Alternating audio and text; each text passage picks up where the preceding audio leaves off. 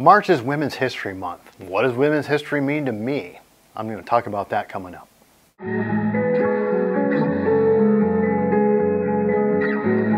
When you think about women's history, you have to think about the people that have influenced you in your career that just happen to be women. You know, for me, it's like someone like uh, Mary Shelley, who was the pioneer, the creator of what is known as modern day science fiction, or Ida B. Wells, who is a huge proponent through her active editorials and journalism to really bring light on the plight of African Americans in her situations through the travels that she had.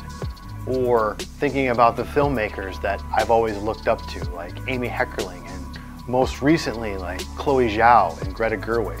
When another one hits most close to home are both of my grandmothers on both my mom and my dad's side. They had a huge impact on me, both entrepreneurially and community based.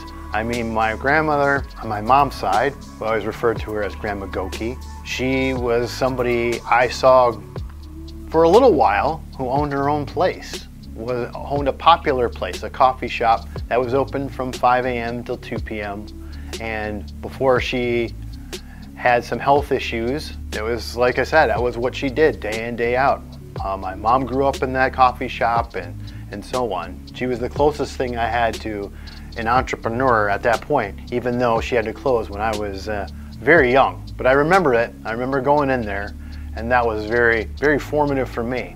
And my dad's mom, we refer to her as Grandma Schmidt. She was like one of those Renaissance people that they talk about. There wasn't something that she couldn't do. She was a painter, she sewed, she she was a teacher of both science and English, so arts and sciences, as well as she was just always helpful. She was a good baker. She was an amazing, amazing woman that, in fact, I don't know anybody else, and this is uh, something that I can toot my own horn at, is that I don't know anybody else's grandma who was in Life magazine when Life magazine was still around. I remember that article they had, and what it was about was about her teaching senior citizens how to use a computer. Back in the early 80s, this is when this thing, this article came out. So just looking back at uh, who has influenced me, uh, both personally and professionally, as well as the folks that I'm around all the time, seeing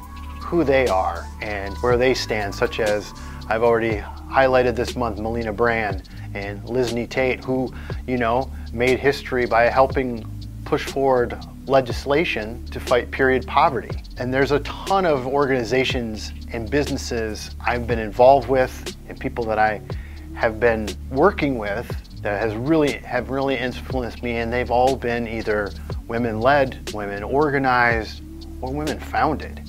And it's just amazing that I have this opportunity to work with such wonderful people in those regards or have been really influenced in a lot of the decisions that I've made or know that I can lean on those folks for the guidance that they've given me to this point. So that's what women's history means to me, both the historical sense as well as the present, which informs my future. And In a nutshell, that's what Women's History Month means to us here at UnoDeuce Multimedia. And as you can tell, we really look for those stories because there's always another story to tell.